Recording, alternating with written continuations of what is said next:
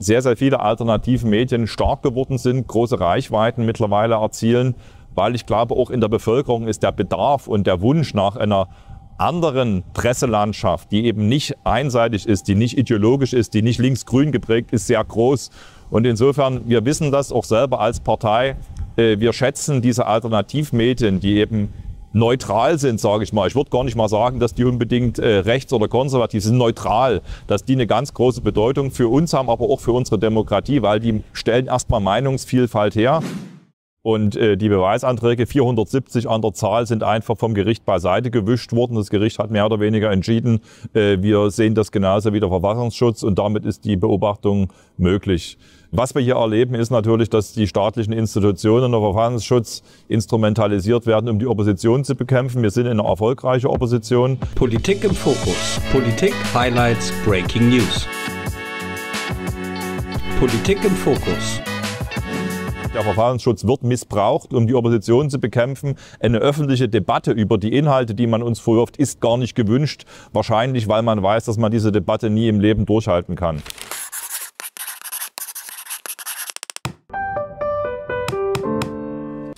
Herr Obern, Sie haben gestern auch vom Skandalurteil erfahren des Oberverwaltungsgerichts Münster dass die AfD jetzt quasi als Beobachtungsfall für den Rechtsextremismus offiziell eingestuft werden kann. Das ist ja ein Freifahrtschein für den Verfassungsschutz. Wie beurteilen Sie das? Also was mich, Urteil?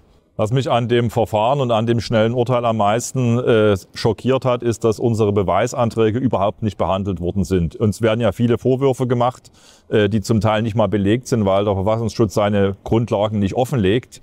Und äh, die Beweisanträge 470 an der Zahl sind einfach vom Gericht beiseite gewischt worden. Das Gericht hat mehr oder weniger entschieden, äh, wir sehen das genauso wie der Verfassungsschutz und damit ist die Beobachtung möglich. Was wir hier erleben, ist natürlich, dass die staatlichen Institutionen der Verfassungsschutz instrumentalisiert werden, um die Opposition zu bekämpfen. Wir sind in einer erfolgreichen Opposition. Eine Opposition gehört übrigens zur Demokratie dazu. Also es ist sehr wichtig, dass es eine Opposition gibt, die auf Fehler der Regierung hinweist und dass äh, jetzt Richter bereit sind, äh, diesen Weg mitzugehen und äh, ohne inhaltliche Auseinandersetzung die äh, Opposition zu stigmatisieren, das ist tatsächlich skandalös und es ist auch gefährlich äh, für unsere Demokratie, wenn Richter mehr und mehr bereit sind, ohne eine Tiefenprüfung äh, so eine äh, Diffamierungen mitzugehen. Jetzt sind wir in Sachsen ja schon einen Schritt weiter. Hier gilt der Landesverband ja als gesichert rechtsextrem und die AfD Sachsen hat dagegen geklagt. Können Sie uns informieren, wie der aktuelle Stand dieser Klage ist? Also im Moment klagen wir vor allen Dingen auf die Veröffentlichung des Gutachtens, was die Grundlage für diese Einstufung ist. Also das Absurde ist ja, dass der sächsische Verfassungsschutz sagt, wir wären erwiesen rechtsextrem und er hat dazu ein Gutachten mit mehr als 100 Seiten Inhalt und dieses Gutachten ist streng geheim. Und da sagen wir, das kann nicht sein. Der Bürger soll das bitte lesen können, was da steht, um sich selber ein Urteil zu bilden. Aber genau das ist nicht erwünscht. Und das macht eben auch hier überdeutlich, der Verfassungsschutz wird missbraucht, um die Opposition zu bekämpfen. Eine öffentliche Debatte über die Inhalte, die man uns vorwirft, ist gar nicht gewünscht. Wahrscheinlich, weil man weiß, dass man diese Debatte nie im Leben durchhalten kann. Und beachtlich ist ja auch, genauso wie im Bund Herr Maaßen als neutraler Beamter ausgetauscht wurde, ist bei uns in Sachsen Herr Meyer-Plath, der ehemalige Präsident des sächsischen Verfassungsschutzes, ausgetauscht worden gegen einen Apparatschik, der eben am Ende als weisungsgebundener Beamter des Innenministers durchexerziert, was der CDU-Innenminister sich wünscht. Und der wünscht sich die Bekämpfung der Opposition eben nicht mit der politischen Debatte, sondern mit den Mitteln des Verfassungsschutzes. Sie hatten es ja bereits erwähnt, dass die Beweisanträge gar nicht richtig behandelt wurden in Münster und dass auf die eigentliche Beweislage gar nicht eingegangen wurde. Wie realistisch ist es denn überhaupt noch, dass man auf dem Rechtsweg durchsetzen kann, dass diese Beobachtung bzw. Einstufung zurückgenommen wird? Also wir werden ja gegen äh, dieses Urteil jetzt äh, in Revision gehen beim Bundesverwaltungsgericht. Ich habe den Glauben an den Rechtsstaat noch nicht verloren. Also am Ende sind es immer einzelne Richter, die auch Urteile fällen. Und äh, ich hoffe, dass das Bundesverwaltungsgericht dort einfach sagt, nein, so darf eine so wichtige Angelegenheit nicht behandelt werden. Es geht ja immerhin darum, ob die Opposition den Stempel rechtsextrem äh, hat oder nicht. Da muss man in der Tiefe prüfen und das zurückverweist ans Oberverwaltungsgericht, damit unsere Beweisanträge am Ende behandelt werden müssen. Weil am Ende, das ist genau der Punkt. In dem Moment, wo wir über die einzelnen Vorwürfe diskutieren können und über die Substanz dieser Vorwürfe, dann bleibt nicht viel übrig.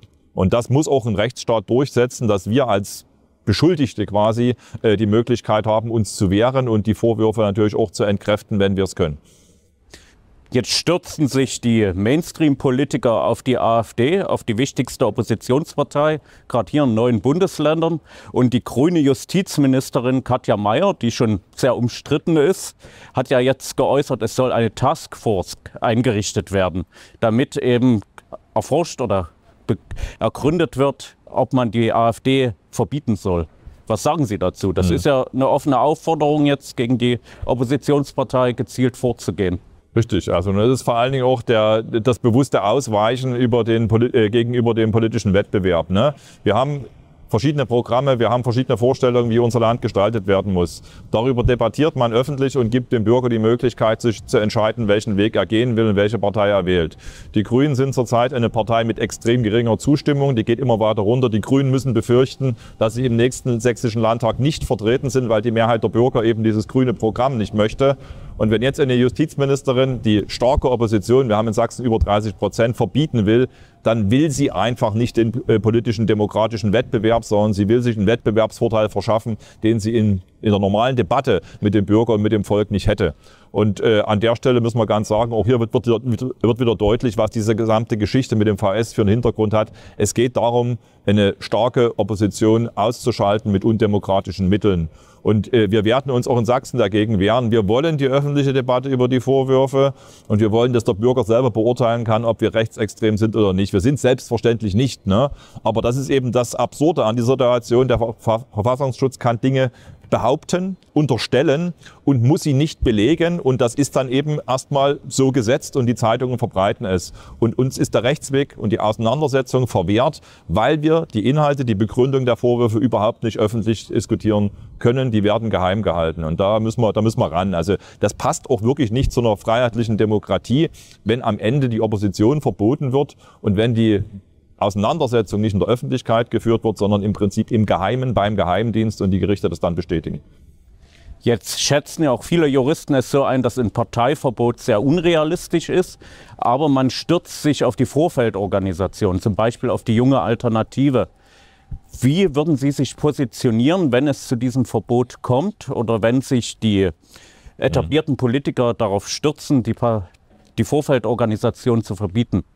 Also als ersten Schritt hin zum Verbot. Die junge Alternative ist ja die Jugendorganisation unserer Partei und wir würden natürlich unsere Jugendorganisation auf alle Fälle auch juristisch begleiten bei der Auseinandersetzung. Es ist ja genau dieselbe Auseinandersetzung, die wir als Partei auch selbst führen. Auch unsere Jugendorganisation werden Dinge vorgeworfen, die nicht öffentlich diskutiert werden, die nicht belegt werden müssen. Die Vorwürfe werden einfach in den Raum gestellt, die werden zum Teil von Gerichten bestätigt, ohne dass die Öffentlichkeit überhaupt sich anschauen kann, ob die Vorwürfe tragfähig sind oder nicht. Und das werden wir genauso juristisch dagegen vorgehen. Das Wichtigste ist aber, glaube ich, für uns, äh, ja, man muss sich juristisch wehren gegen äh, unhaltbare äh, Vorwürfe. Aber wir müssen natürlich zeigen, dass wir tatsächlich als Partei eine Alternative sind, dass wir ein gutes Programm haben, dass wir gute Ideen haben für unser Land.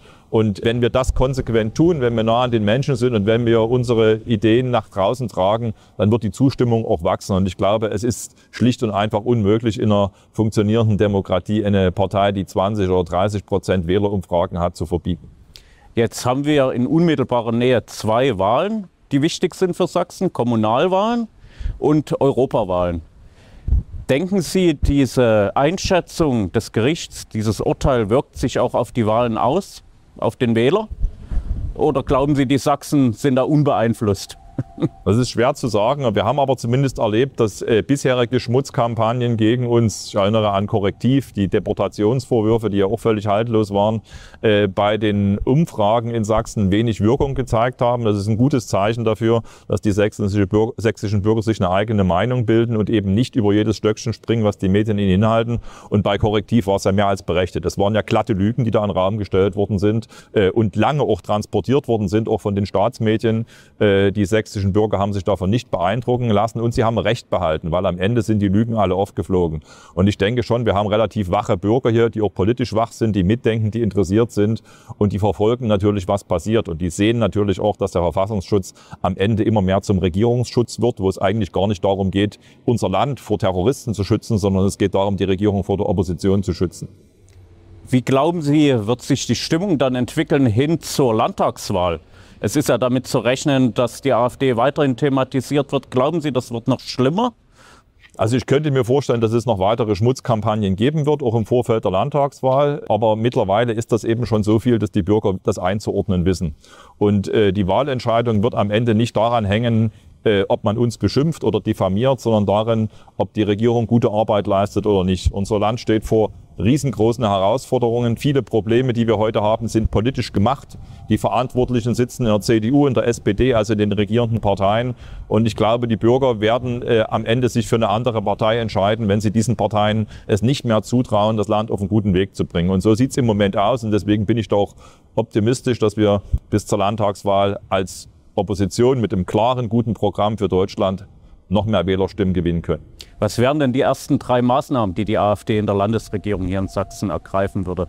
Also das erste wäre wahrscheinlich ein Kassensturz. Wir haben einen, äh, eine wachsende äh, Ministerialbürokratie, die immer mehr Geld verschlingt, die unsere Unternehmen und Bürger mit Bürokratie belastet. Dort müssen wir aufräumen. Wir brauchen eine schlanke Verwaltung. Wir müssen gucken, welche Aufgaben soll der Staat überhaupt leisten und welche Aufgaben kann man dem freien Markt überlassen. Das würde eine große Entschlackung bedeuten, äh, tendenziell auch finanziell, aber vor allen Dingen eben auch die Bürok äh, Bürokratie zurückfahren. Äh, wir würden äh, sicherlich darauf achten, dass die Schulbildung äh, wieder in mathematisch-wissenschaftlichen, naturwissenschaftlichen Schwerpunkt bekommt, damit wir unsere Schüler nach der Schule in eine Berufsausbildung entlassen können, wo sie auch das Fachwissen dafür mitbringen, beziehungsweise zum Studium. Also der Bereich Bildung wäre sicherlich auch was, was wir sofort anfassen würden. Und äh, das Wichtigste, was man immer so hört, was man auch gerne sagt, ist natürlich wirklich wichtig. Wir müssen uns mit den Rundfunkstaatsverträgen auseinandersetzen. Äh, dieses Zwangssystem, was am Ende zum sehr einseitigen Rundfunk führt, der ja sehr linkslastig ist und äh, wo Menschen dafür bezahlen müssen, obwohl sie dezidiert sagen, ich möchte das gar nicht sehen. Das passt nicht zu einer freiheitlichen Demokratie. Also auch die Rundfunkstaatsverträge, die wollen wir angehen, die wollen wir kündigen. Wir wollen einen staatlichen Rundfunk haben, aber ohne Zwangsgebühren.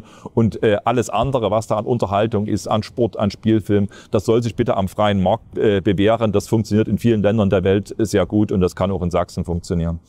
Da haben Sie schon meine abschließende Frage angesprochen. Wir erleben es ja jetzt gerade in diesen Zeiten, dass die Mainstream-Medien sehr unausgewogen berichten und sehr einseitig, auch oft sehr negativ über die AfD und wiederum andere Parteien in die Höhe heben. Welche Rolle spielen denn aus Ihrer Sicht die patriotischen Medien wie der Deutschlandkurier für die Berichterstattung? Und also, was wäre Ihre Aufgabe? Also es ist äh, be äh, beachtenswert, äh, dass tatsächlich äh, auch durchs Internet sehr, sehr viele alternative Medien stark geworden sind, große Reichweiten mittlerweile erzielen, weil ich glaube, auch in der Bevölkerung ist der Bedarf und der Wunsch nach einer anderen Presselandschaft, die eben nicht einseitig ist, die nicht ideologisch ist, die nicht links-grün geprägt ist, sehr groß. Und insofern, wir wissen das auch selber als Partei, äh, wir schätzen diese Alternativmedien, die eben neutral sind, sage ich mal. Ich würde gar nicht mal sagen, dass die unbedingt äh, rechts oder konservativ sind, neutral, dass die eine ganz große Bedeutung für uns haben, aber auch für unsere Demokratie, weil die stellen erstmal Meinungsvielfalt her und die Meinungsvielfalt ist die Grundlage für, für einen Meinungsaustausch und am Ende äh, sind sie wichtig für die Demokratie. Wir unterstützen die Medien im Rahmen unserer Möglichkeiten, sage ich immer, ne? aber ich glaube, wenn wir diesen riesengroßen Koloss aus Zwangsgebühren finanzierten Medien, wenn wir den zurechtstutzen und einen freien Markt möglich machen, dass sich die Medien bewähren müssen mit ihren Inhalten beim Bürger, dann werden sich diese konservativen, neutralen Medien auch viel, mehr, viel besser durchsetzen können als heute, wo es diese Übermacht gibt von Zwangsgebühren finanzierten öffentlich-rechtlichen Rundfunk. Und dann wird es auch wieder mehr Zeitungen geben, dann wird es mehr Fernsehsender geben, die tatsächlich neutral von mir aus auch konservativ äh, berichten, weil die Bürger natürlich auch einen Wunsch äh, danach haben. Wir sehen es ja an den Wählern. Wir haben in Sachsen, wenn man CDU und AfD zusammenzählt, zwei Drittel Wähler, die eigentlich eine konservative Politik wollen. Und dann schauen Sie sich mal die Medienlandschaft an, da müsste es ja eigentlich wiedergespiegelt sein. Da müssten zwei Drittel der Medien müssten konservativ sein und der, Re der Rest müsste dann eben links-grün sein. Aber es ist ja eigentlich genau umgekehrt, wenn nicht noch schlimmer. Also wir brauchen einen freien Medienmarkt, damit äh, am Ende auch der Bürger sagen kann, das möchte ich haben, dafür bezahle ich. Und dann haben gerade die konservativen Medien, glaube ich, eine wunderbare Zukunft vor sich. Vielen Dank. Politik im Fokus. Politik Highlights Breaking News. Politik im Fokus.